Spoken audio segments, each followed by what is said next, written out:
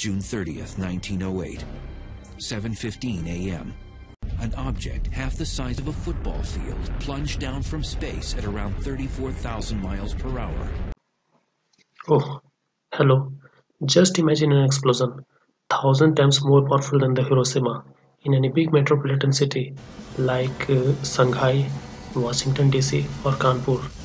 What will happen, and how devastating it can be? Well, I think for better understanding, we should consider Tunguska event or Kanguska Savitya.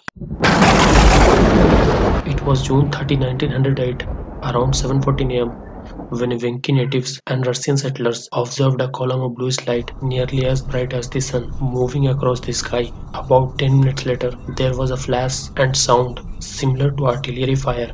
The sounds were accompanied by a shock wave that knocked people off their feet and broke windows up to hundreds of kilometers away. It was the enormous Tunguska explosion that occurred near Tunguska River in Russia, one of the largest impact events on Earth in recorded history. It's estimated that it knocked down 80 million trees in the area of around 2000 square kilometer. Shockwaves from blast measured 5.0 on Richter magnitude scale.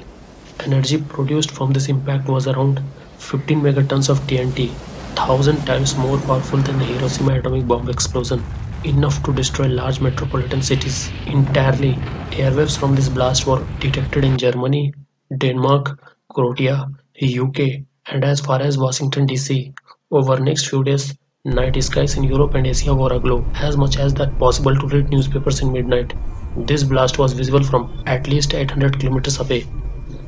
For more than a decade, this event remained untouched, since the center of explosion was far away from Russian mainland. But in 1921, Russian mineralogist Leonid Kulik led a team to Podkamennaya Tunguska River basin to conduct a survey. Although they never visited the central blast area, but many local accounts of the event lead Kulik to believe that the explosion had been caused by a giant meteorite impact. On his second coming, Kulik led a scientific expedition to this Tunguska blast site in 1927. Entering the central blast area, Kulik was expecting to find a big impact crater, but to their surprise there was no crater to be found at ground zero.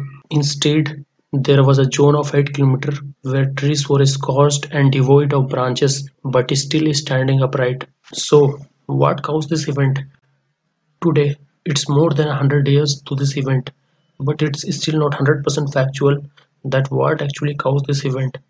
However, there are some scientific theories relating to this event. According to most of the scientists, a small asteroid or comet exploded in the Earth's atmosphere that is above the ground. This impact was sufficient to shock the entire area. But there are disagreements to this theory. According to astrophysicist Wolfgang Kundt, it was not the crater impact. Rather, this event was caused due to release and subsequent explosion of 10 million tons of natural gas from within Earth's surface. While some other scientists believe it was due to a black hole chipping through Earth. So, now we imagine